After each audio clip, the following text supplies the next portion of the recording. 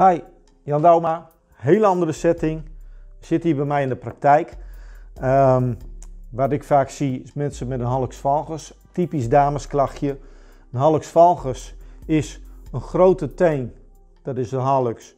En een valgus is hier de knobbel, het gewricht zeg maar, die je hier ziet, uh, die aangedaan is. Dat komt vaak omdat dames op hakken lopen en daardoor een hele hoge hak hebben en die tenen nergens uh, een kant op kunnen. Dus wat we eigenlijk moeten doen is zorgen dat ze allemaal weer plat gaan lopen en dat die voeten weer uh, netjes worden. Uh, je krijgt dan vaak hier zo'n grote rode knobbel. Doet heel erg zeer. Wij kunnen dat voor jullie oplossen. Op verschillende manieren. Uh, door middel van tape. Ik kan jullie uitleggen hoe dat met medical tape werkt.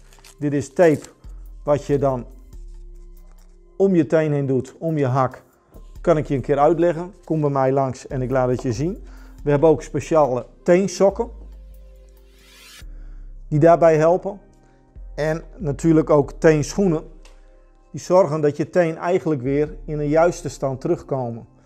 Dus heb je een hallux valgus, je kunt daar verschillende dingen mee doen. Is heel vervelend, kan zelfs pijnlijk zijn.